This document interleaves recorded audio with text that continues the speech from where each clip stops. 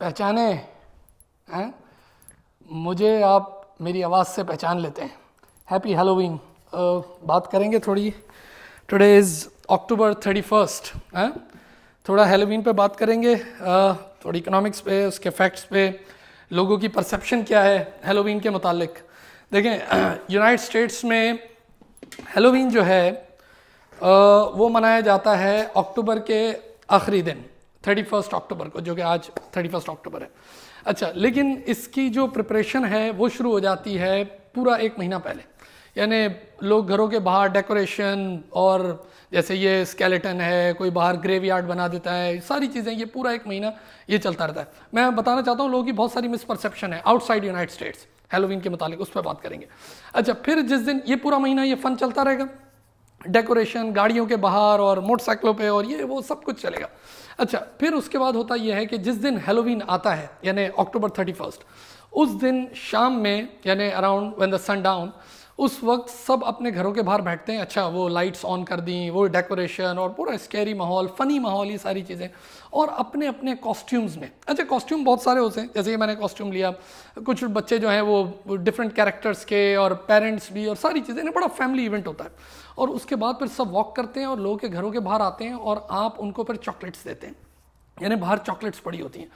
United states में हर साल यानी आफ्टर 2022, 23, 21 ये सब अराउंड थ्री बिलियन डॉलर की 3.2, 3.7 बिलियन डॉलर की सिर्फ़ चॉकलेट्स इस इवेंट की बिकती है। क्योंकि उस स्टाइल से ये चॉकलेट्स बनती है चाहे स्निकर्स हो मार्स हो चॉकलेट कैंडीज़ हो मिल्क चॉकलेट हो सारी। यानी इतना बड़ा काम होता है जो ज़ाहिर है कई मुल्कों की जीडीपी से भी आगे पीछे हो जाता है कि यानी इतनी सिर्फ़ चॉकलेट्स बिकती हैं। अच्छा इंटरेस्टिंग बात यह है कि जब, जैसे आज अक्टूबर थर्टी फ़र्स्ट है, अब कल लगेगी चॉकलेट पे सेल। तो जो सिर्फ़ चॉकलेट खाने वाले हैं, वो क्या करते हैं? वो जाते हैं नेक्स्ट डे नवंबर फ़र्स्ट को जाते हैं और फिर दबा के चॉकलेट सेल हुई भी होती क्योंकि फिर वो चॉकलेट काम की नहीं है, क्योंकि जिस पे ये हेलोवीन और स्केलेटन और ये सब बन गए स्कल बन गए सब चीज़ें। तो वो फिर चॉकलेट पे दबा के सेल होती है और फिर वो लोग बाय करते हैं।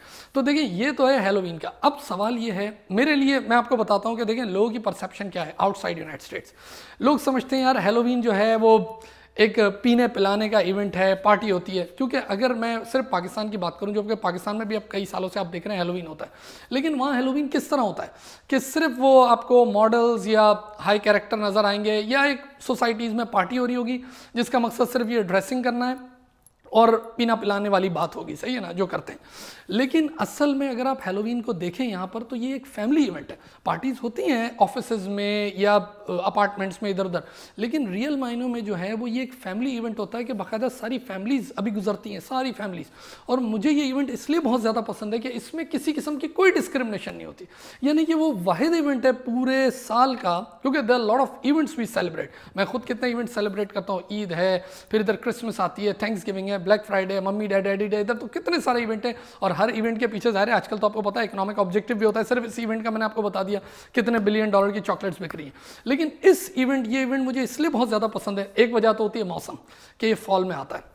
दूसरी बहुत बड़ी वजह यह है कि यार, हर शख्स आपके घर के बाहर, हर बच्चा आता है। यानी वो बच्चा चाहे वाइट हो, वो किसी भी रेस का हो, वो ब्लैक हो, वो मैक्सिकन हो, वो एशियन हो, वो इंडियन हो, वो पाकिस्तानी हो, यानी कोई चीज़ इसमें नहीं देखी जाती, किसी किस्म की कोई डिस्क्रिमिनेशन नहीं होती और वो बच्चा आता है और आप उसको ट्रीट देते हो। यानी वो बिला धड़क आपके घर के पास आता है और आप उसको कोई चॉकलेट देते हो या वो खुद आके चॉकलेट्स और वो कैंडीज़ उठा के ले जाता है। तो यानी ये एक ऐसा इवेंट है, जैसे बड़ा मोहब्बत भरा इवेंट है ये। यानी असल इसका काम ये नज़र आता है। अब यकीन ये बात आप बहुत सारे लोग कमेंट्स में आके बोलेंगे कि, सर, इसकी हिस्ट्री तो ये है और फलाना ढिमाका देखिए हिस्ट्री तो मैंने बहुत सारी झूठ पढ़ ली। तो मैं पर्सनली तो अब है ना हिस्ट्री पढ़ता नहीं हूँ, सही है ना? तो क्योंकि मैंने बहुत झूठ पढ़ लिया हिस्ट्री में तो मैं तो प्रेजेंट देखूँगा कि प्रेजेंट इवेंट कैसा है। प्रेजेंट इवेंट जो है, जिसको मैं पिछले सात आठ सालों से यहाँ यूनाइटेड स्टेट्स में देख रहा हूँ, कि इससे ज़्यादा इवेंट वो जिसमें मोहब्बतें नज़र आती हों, लोग मिलते हों, एक दूसरे से, वरना कहाँ यार पड़ोसी, इतने दूर दूर जो पड़ोसी, कितने लोग आएँगे? इवन दूसरी कम्युनिटीज़ से भी लोग आएँगे और वॉक करेंगे। अच्छा अब हालात ऐसे हैं, वरना पहले तो सिर्फ़ बच्चे ही वॉक करते थे और आके चॉकलेट्स वगैरह ले जाते थे। लेकिन अब ज़ाहिर है, दुनिया के हालात आपको पता है तो इसलिए पेरेंट्स भी वॉक करते हैं। अच्छा ये जो आप बोलेंगे, ये स्केरी और ये सारी चीज़ें क्या बनती है? ये एक फ़न है। एक फन है। जैसे मैंने ये फन में ये पहना है मास्क इस तरह पेरेंट्स भी पहनते हैं। कोई निंजा टर्टल बना हुआ है, कोई पुलिस ऑफिसर बना हुआ है, कोई प्रिजन बना हुआ है, क्या वो प्रिजनर बना हुआ है कैदी? यानी इस तरह के सारे फन हो रहे होते हैं। यानी it's actually a fun event family event तो जो लोगों की परसेप्शन है अच्छा एक परसेप्शन ज़ाहिर है, वो हर कल्चर की होती है। कि जहाँ भी कोई आपके कल्चर से बाहर कोई चीज़ कर रहा होता है, आप बोलते हो, यार, ये बुरी है। ये ऐसा नहीं कि पुल के उस पार वाले ही सोचते हैं। पुल के इस पार वाले भी ये सोचते हैं कि नहीं, यार, वो इवेंट कर रहे हैं। क्योंकि हर बंदा उस इवेंट की रूह को नहीं जान रहा होता कि, यार, वो इवेंट हो कैसे रहा है? सही है ना? हमारे नज़दीक, मैंने कहा ना, हमारी परसेप्शन क्या होती है हेलोविन के मुतालिक? कि किसी बड़े होटल में पार्टी होगी ड्रिंक होगा डांस होगा दैट्स इट लेकिन ऐसा नहीं है, मैंने अभी आपको पूरा समझा दिया कि पूरा हफ़्ता ये सॉरी पूरा महीना इस सेलिब्रेशन चल रही होती है, ज़बरदस्त लोग डेकोरेट करते हैं, और फिर जो दिन आता है, उसमें आते हैं कैंडीज़ वगैरह लेते हैं और इन्जॉय करते हैं।